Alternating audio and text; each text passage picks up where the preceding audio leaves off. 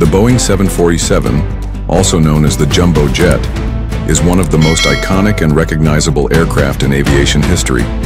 Introduced in 1969 by Boeing Commercial Airplanes, it was the world's first wide-body aircraft and revolutionized air travel by making long-haul flights more efficient and accessible to the masses. Designed to accommodate a growing demand for air travel in the 1960s, the 747 featured a distinctive hump on its upper deck, which allowed for increased passenger capacity and later evolved into a luxurious space for first-class seating or additional cargo. With its four powerful engines, the aircraft was capable of flying long distances without refueling, making it the preferred choice for international airlines. Over the years, the 747 has gone through multiple variants, including the 747-100, 747-200, 747-300, 747-400, and 747-8, each offering improvements in fuel efficiency, range, and passenger capacity.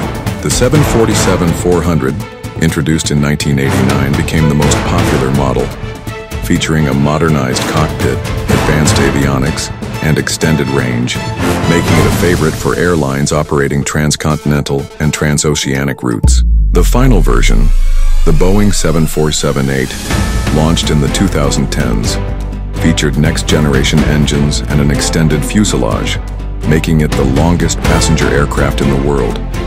While the 747 was initially designed for commercial flights, it also served in various roles, including cargo transport, military operations, and as the Air Force One, the official aircraft for the President of the United States. However, with the rise of more fuel-efficient twin-engine aircraft like the Boeing 787 and Airbus A350, airlines gradually phased out the 747 from passenger service in favor of more cost-effective models. By the 2020s, many major carriers had retired their 747 fleets, though it remained in demand for cargo operations due to its massive payload capacity.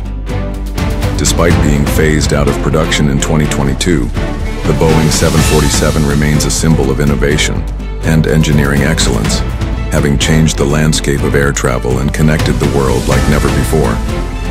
Its legacy endures in aviation museums, private collections, and ongoing cargo operations, ensuring that the Queen of the Skies continues to inspire future generations of aviators and travelers.